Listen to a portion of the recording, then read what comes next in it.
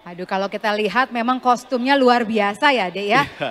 Di luar dugaan dan memang Betul. jarang sekali kita melihat. Jadi ketika kita melihat mereka menggunakannya sungguh luar biasa, sungguh berkesan dan ini berbeda dari yang lainnya. Ya. Ya, macam-macam rupanya dan mungkin juga dengan aksesorisnya juga berbeda ya. Berbeda. Ada hiasan kepalanya, kemudian juga ada hiasan pakaiannya.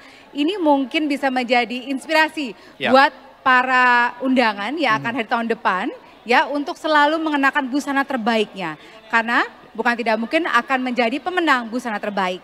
Ya, kami mengundang kembali, oh ya sudah bergabung Ibu Sri Mulyani untuk menerima penghargaan yang sangat spesial di tahun ini, yakni sebuah sepeda sebagai pemenang busana terbaik.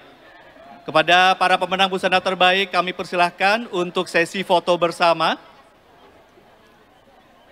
Ya, dan penyerahan sepeda akan dilakukan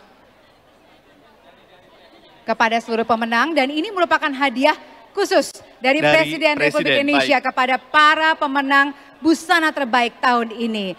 Ya, silakan berfoto bersama dengan hadiah spesialnya hari ini. Mungkin habis ini tadi seperti kami sampaikan, boleh dicoba boleh dicoba untuk atau keliling-keliling nanti di Istana Merdeka rumah ya. masing-masing. Betul sambil sekali. menunggu nanti upacara penutupan bendera, penurunan bendera maksud kami. Ya, saat ini kita saksikan, Baik, Ya. sudah diterima hadiahnya masing-masing ya, Dea. ya, Dan saat ini tentunya setelah ini kami mempersilahkan kepada para pemenang busana terbaik untuk kembali ke tempat duduknya. Terima kasih. Terima kasih sudah nonton. Jangan lupa like, subscribe, dan share ya.